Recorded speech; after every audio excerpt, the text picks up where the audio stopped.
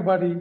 Today I have with me one of the finest wildlife filmmaker in India and world, Nallamuthu. Nallamuthu has won four national awards and several international awards. His films can be seen on NGC, Animal Planet, Discovery channels. Today we'll talk to him and find out what wildlife film is all about. Welcome, Nalla. Yes, Ajay. Hi. All good. First question I want to ask you is tell me a little bit about your early life, how you became a filmmaker, and what made you inspired to get into wildlife filmmaking? Yeah, I'm I'm basically from Film Institute Chennai. I specialize in cinematography. It's a three years course uh, after plus two. I mean, there is one in Pune, one in Chennai. I'm from Chennai because uh, I'm, I'm since I'm from Chennai. I got an admission here, so I completed that. So after that, I really wanted to go to film industry. Basically, my idea is to get into cinema and do something on cinema, on cinematography. So at that time, my father insisted me to go to government, central government job. So those days, you know, I mean, there are very few opportunities to work in cinema. So I decided to join an Indian Space Research worked for a few years, few years. Then I decided to you know, go to Delhi because those days, you know, television was you know, the first time. You know, we had only Doordarshan, so the private channels started getting into our country. They started new channels started coming in. We decided to do something in television because cinema was too tough to do. You know, work in cinema. There are very few people are know, encouraging institute people. There's a lot of lot of problems, a lot of politics and stuff. So I thought, might as well do something in television, then we'll try to do something in cinema. So opportunity was in Delhi. So join in Delhi as a, as a, again as a cameraman in films division, because I mean again it's a central government job. Then I thought there was no nothing creatively happening in government job, so decided to quit the government job. Started working seriously on television so that was a that was a first step which she, we, we I started working in television. So that time, I think in 1991, we got an opportunity to do a series on environment. This environment series called Living on the Edge. So we did some 52 part series. That was the first step into wildlife, um, environment and wildlife. In that, there's a mix of wildlife and mix of environment a lot of issue based, lot of no, lot of lot of issue based uh, magazine magazine format. So even though we are not, we got a prime time slot in Doordarshan, there was no hardly any viewership. So I just we put a lot of blood into this. There was no viewership because we were doing you know what do you call that purely a conservation based, educational based, you know, talking about environment and pollution there's no drama. There's no there's no story. I mean, it, I mean even though it's commissioned by Do Doordarshan, it didn't do, well. Uh, managed to get some awards and you know producers and ourselves we were you know getting you know making money. So I just thought, you know, this is not working, but you put too much effort and hard work. So that was a turning point. I decided to work on serious documentaries.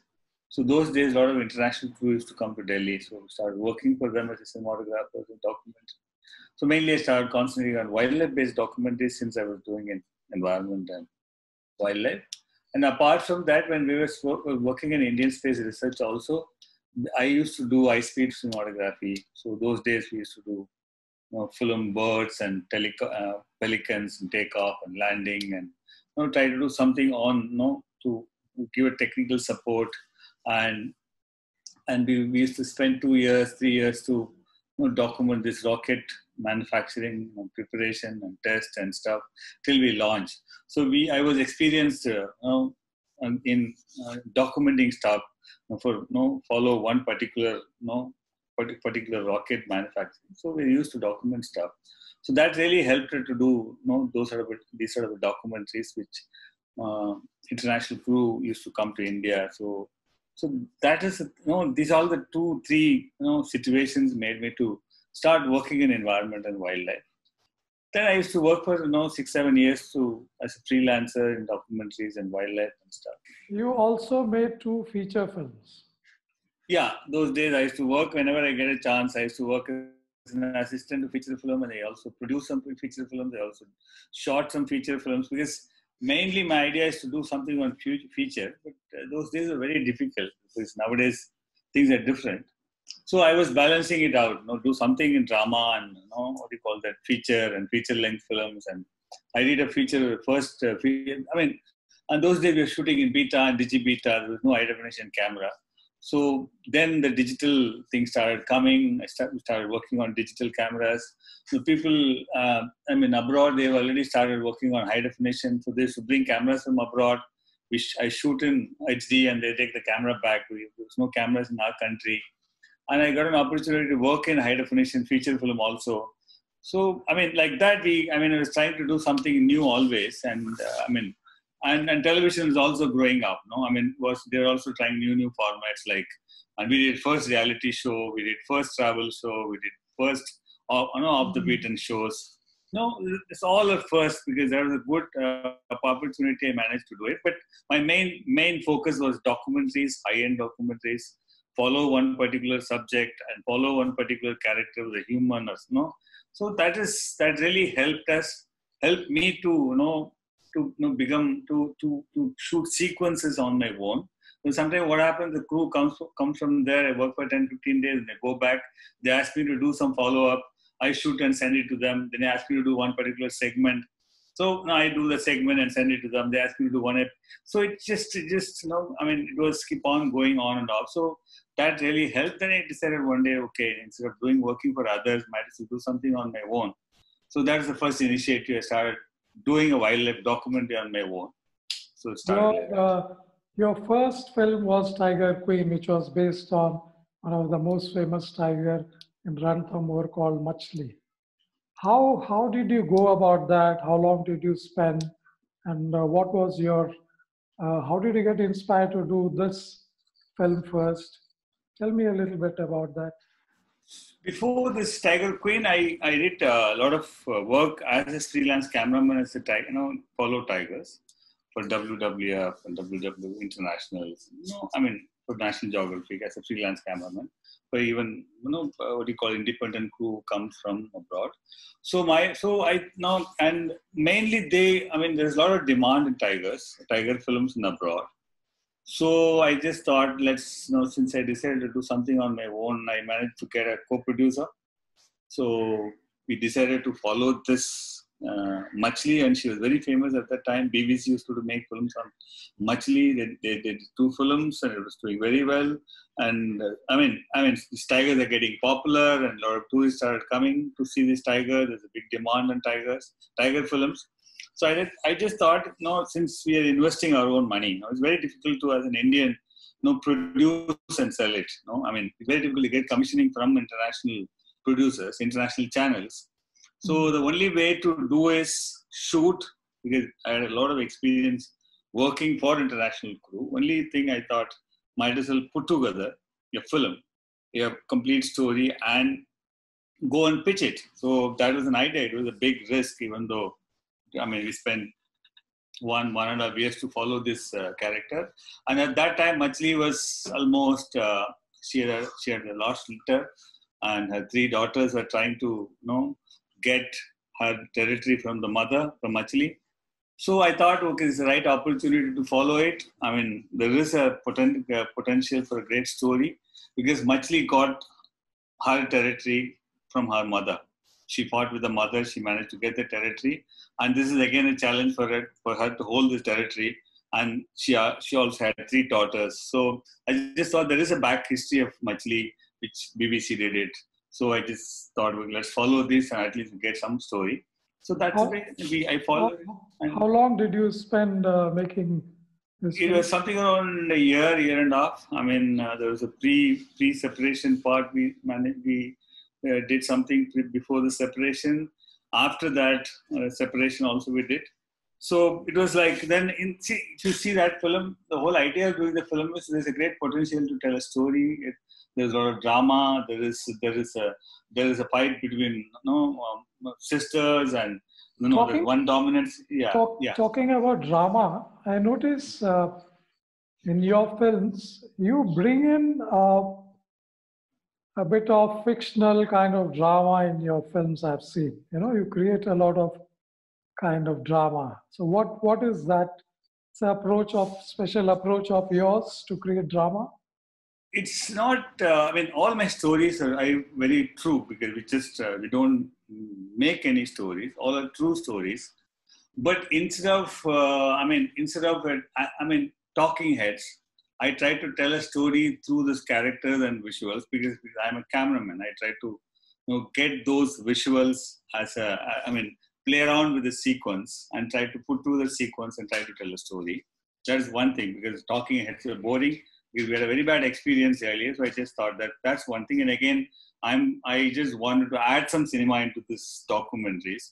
And that's that's first thing so that really works because uh, people wants to see the story people wants to see a sort of a no no sequencing of you know these characters and capturing this character in their own you know in one way and uh, it's it's it's a con- it's a constant follow up. I mean, it's not that you know, the story story happens every day. The story changes, but uh, we just follow it till we get a you know good beginning and middle and end, and without manipulating with some other you know story. It's all, it's all actual stories. You know?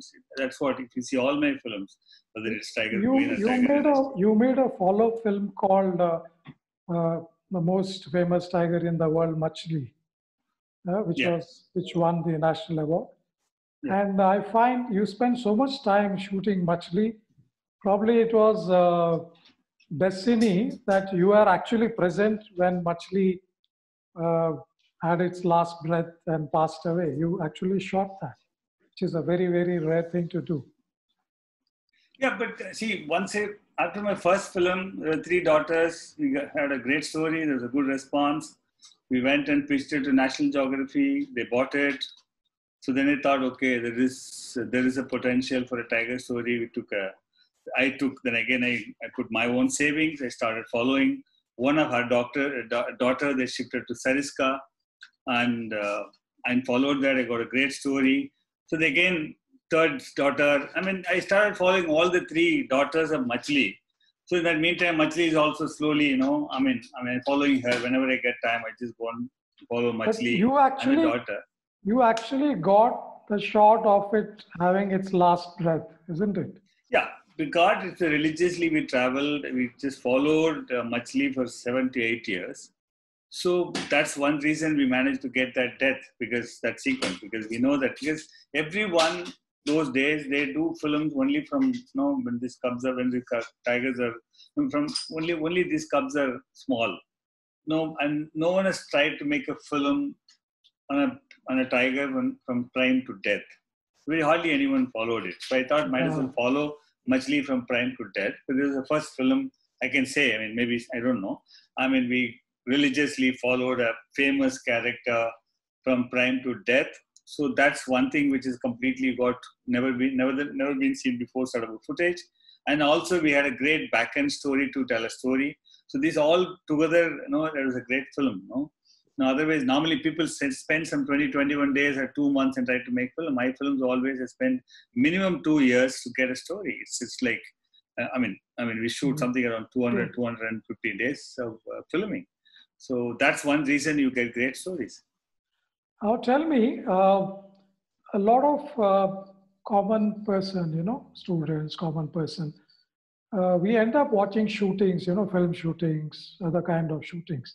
But there's always this mystery about wildlife filmmaking. You know, because obviously, you know, your wildlife filmmaking is a bit hidden from the normal audience. So we actually don't know how a cameraman goes in, how he shoots, how he gets it footage. Tell me a little bit about this process of shooting of wildlife. How do you do it? See, in our country, the situation is different when compared to Africa and other places because we have a lot of restrictions, mainly in tiger national national parks, tiger reserves, because we are allowed to shoot only from only in the tourism zones, and all my films are shot, you know, in front of the tourists. Sometimes 20, 20 gypsies, sometimes 30 gypsies. in the tourism safari timing. You know, in India, they, you won't get any special timings for filming, apart from few parks. But most of the parks, you have to stick to the timing of safari timing with a tourist. That's a restriction which you need to mentally prepare to start. I mean, if you want to start any character, you want to do wildlife film in India, that is one thing. I'm talking about tigers. Second thing is you are not allowed to go off track. You have to stick to the track, which is again is difficult for filmmaking. Third is you uh, filming permission is one thing which you need to be mentally prepared to pay for it. Something around varies from 15 to 20, 25,000 rupees a day, which is not for the whole day, only from morning to evening. And you can use only one camera. If you're using another camera, it will become second camera unit. It will become no. You may end up paying twice its uh, filming fee charges. So these are all the restrictions, and that is that's the way all the film has been shot. So you have one camera one i mean cameramen hardly take assistance because you are not allowed to get down from the jeep you will be sitting from the jeep and there's i mean that's that's the reason we won't take any assistance only one driver maybe one guide and because too many people know there'll be wobbling there'll be shake so you need to have you know take a steady shot so so that's why you know that's the reason we i got, used to with myself do alone everything uh, it's it's it's one man because again I kind of a film which I make I follow the character, so I don't need a second. I don't need a director to direct me because I myself is a director cameraman. Mm-hmm. I'm trying to get the sequence and trying to put together the stories happening. No, I I I'm I'm, I'm experienced. You know more than 10 15 years of following making sequence on my own. So this all happens. It's all you you you plan a shot at that particular situation. You try to work out a sequence. You try to you know you'll be you'll be having all your stories in your mind maybe two to three story different lines and try to work out. Because you take a call once you see the tiger the thing is you are restricted to shoot from these conditions no that's one limitation the tiger sometimes you may not get the tiger right i mean in my in my experience yeah. of whatever 10 15 years there are 9 10 days I mean, we hardly get a chance to see a tiger. But again, you keep going back and forth, you come back, and that's the way because you, I mean, because that's the way it is. Because otherwise, it's very easy to. There are two ways of making films in wildlife. One is documenting, just just document whatever you get, put together, put a music, put a voiceover, or if there's no story, you get a famous anchor person or a famous voiceover to do it so you tell a story, uh, you tell you, you just try to you know what do you call it, like an audio visual sort of a thing. Mm-hmm. That is one way. Second thing is second way is you follow a character with till till you get a great story. So obviously people like to see this sort of stories. It's got a lot of drama in this, you know. You, you got you call it, it's more or less like making a film, no? Because the only thing is the character is not in our own control. The stories are not in our own control. It's it's unscripted. So, I mean, these sort of challenges, that's that's completely a different format of making it. It it needs a lot of money, a lot of time. It needs you need to have a what do you call guts what, to about, spend that uh, much money. What about the equipment, special equipments you use for wildlife yeah, filmmaking? Yeah, because see, since we, we cater for international broadcast, there are some specifications, which is our equip, our we use very high end. Uh, what do you call that? Now I'm using 4K those days I used to HD and 2K and you know, sort of a different format, but all are very high end because uh, that's the specifications, which is an expensive thing. You won't. It's very hardly you can hire uh, get it uh, get these lenses on hire.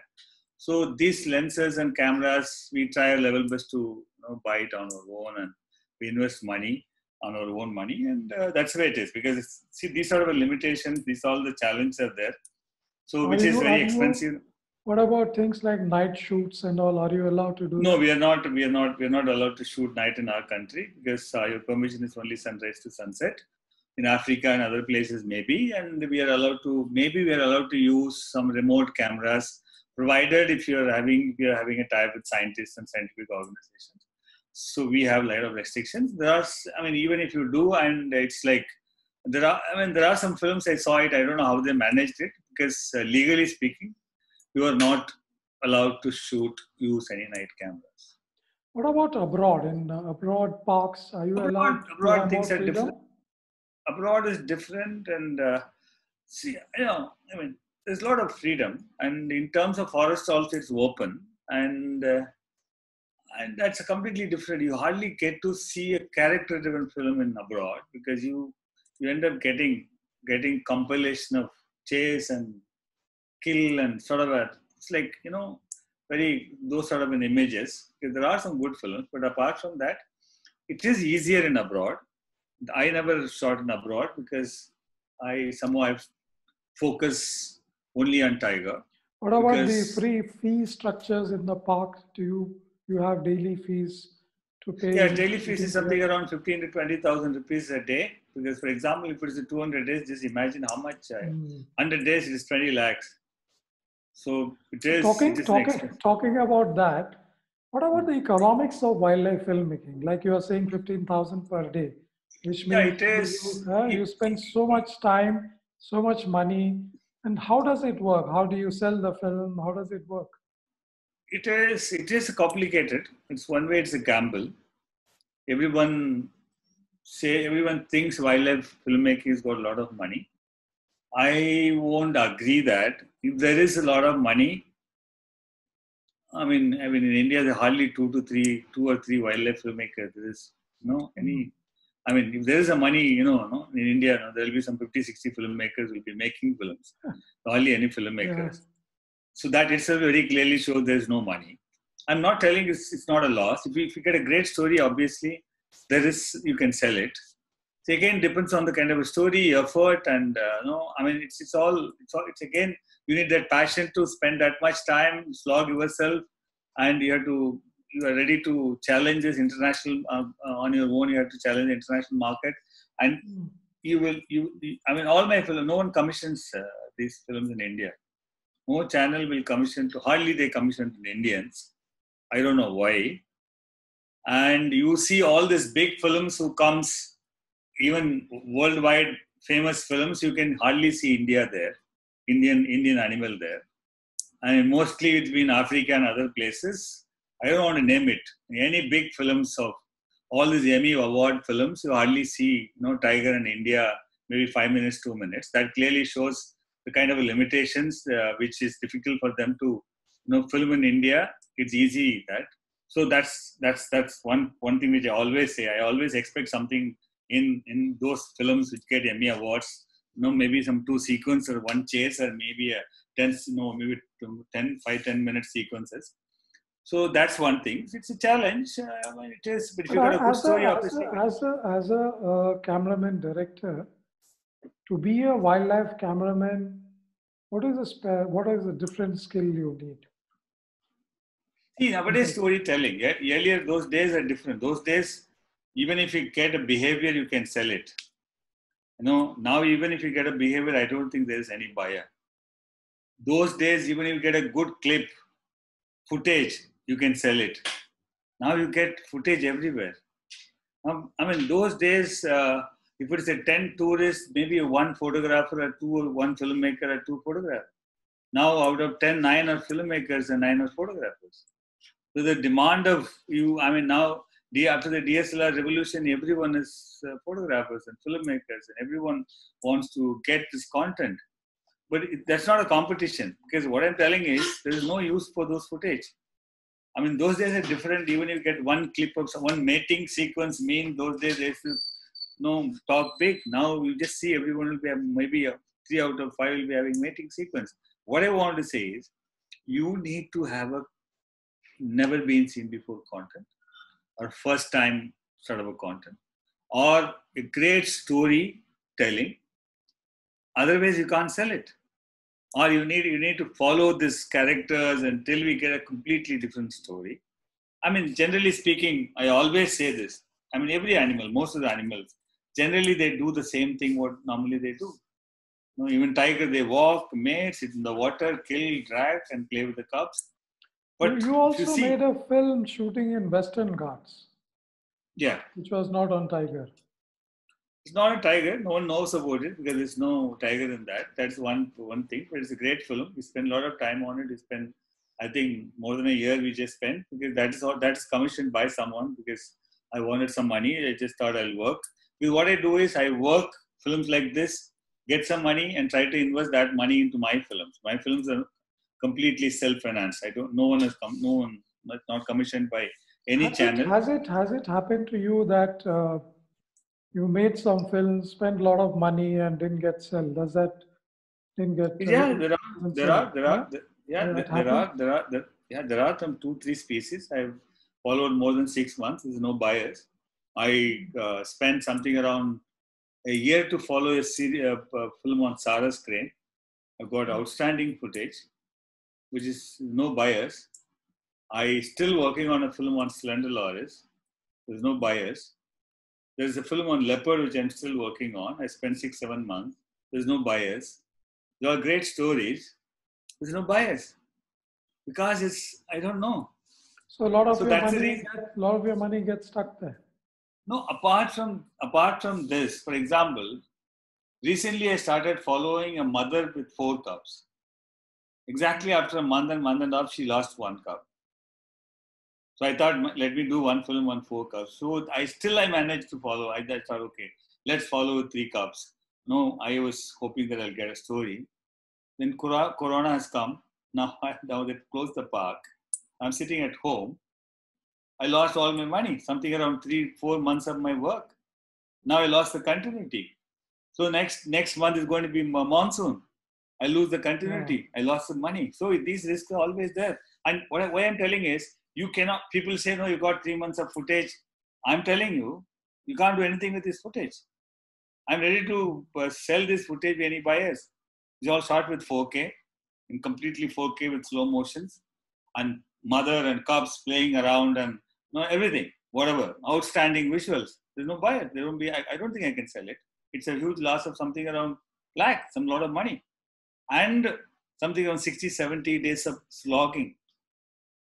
So these risks, it's a passion. India is doing pretty well in the population of tiger going up. So uh, how how good is it doing? See, increase in numbers of tigers is. I don't. I'm not a. I'm not a conservationist. I I don't talk about policies and stuff. As a filmmaker, I always try to stick with stories. But if you ask me as a layman, layman town, there are more tigers outside national park than inside inside, inside national park. And particularly hmm. some of the parks, which I can say, there's no space in our country. All the most of all the tigers are suffering. The park, the tigers which are outside the parks are suffering. So there's no point of you know we jumping around saying that we got you know 2,500, we got 3,000, we got whatever. I don't think we need more tiger. I think as long as we manage the tigers which we have, that What about is what about uh, what about uh, things like poaching and all? Is that Poaching better? and all is it is it is it's controlled. I think so because see thing is I mean I deal only with the tourism zones and lot of see conflict is everywhere. Particularly the place where I'm working in Maharashtra, which is conflict. I mean even in, even if you see in this in this lockdown there are three three people got killed.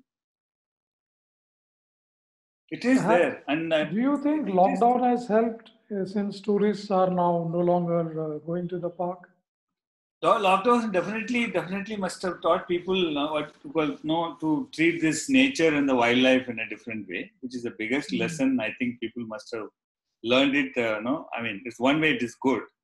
I mean, I don't know whether they're going to stop uh, trading of wildlife in China and stuff. That's a different case. But at least people realize something. uh, I mean, people must have realized there's something majorly they have done wrong to this nature, to the wildlife which I hope they will at least 10% or 20% people will realize it. There's always, Okay. they'll try to, yeah. Coming on that, uh, what's the relation between like this uh, parks, tourism? You know, how how do you think government is playing?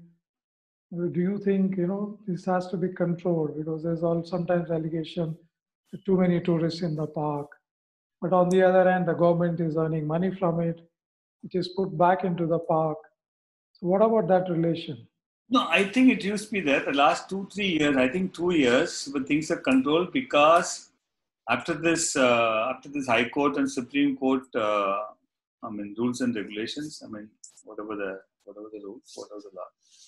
I think uh, they are limited. Uh, the numbers of tourists because it's all according to the you know what you call space and no, I'm I'm not very sure about it. But these numbers are limited now because it's all depends on the carrying capacity of the park. You No, as per the carrying capacity, these numbers are there. But it's all online now. Those things are not. Uh, I mean, I, I mean, it used to be maybe, but not now maybe. But that's a control but thing. But one way, tourism is also tourism also helping to. Yeah, they also tourists helping, for money. The revenue, yeah, revenues are that definitely helping to the locals and stuff. But I mean, this this all I can say because I'm last 10, 15 years I'm I'm filming in national park. But nowadays I think these things are quite controlled apart from few places, maybe these one or two cases. But generally speaking, these to the online systems and there is some regulatory things that come. I mean, they are trying to increase the, the space and the carrying capacity according to the tourism flow. But uh, I think quite control. I think which is very important. One way it is there is always some some some sort of a monitoring is happening, some sort of monetary benefits also happening. Local peoples are getting revenue, and uh, I mean it is good for. I mean it's one way it's, it's, kind of a conservation, which you can say. Which I'm not against tourism. The controlled tourism and a regulated tourism is definitely good. And uh, I mean I don't know what's happening in non-tourism zone, which I have no idea, which is completely government. Tell me, tell me about your latest project. So, what is the film you're working on? I now? again, as usual, this is my sixth film. I started uh, following a character called Maya. I almost completed and, uh, it. I'm just. You're shooting in Tadoba this time. I'm telling you, Tadoba. It's in Maya and Tadoba in Maharashtra, and uh, she lost uh, her first two litters with some strange reasons. So no one knows the reason. So I just thought, uh, let me follow her and find out the reason why she's not able to. You know, she's she never succeeded as a, as a mother know, so always when these cubs become a sub adult, she lose it. Uh, so I tried to follow her, find out the reason behind it, and I managed to get a completely different perspective of that, you know, uh, tiger character because of you know a lot of different sort of an influence. There's a lot of completely different reason uh, behind this loss which she is uh, was she was going through. So it's a film about her and uh, and again about uh, about I mean she lives next to uh, the core and next to that there's a buffer.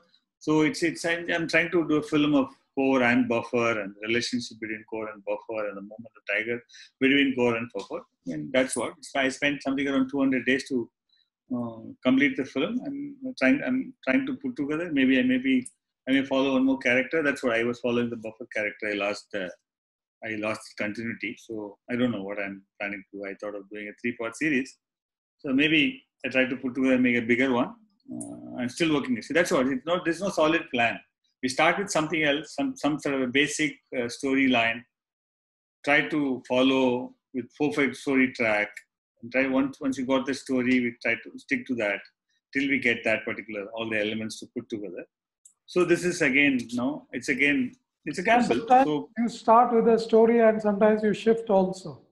Oh yeah, get, huh? yeah, yeah, so many times. I mean, not don't get things changes. We we always you know in it's wild. You may not get. Uh, so for example, there's a film called Tiger Revenge. I wanted to follow it, a mother with tiger uh, three cubs.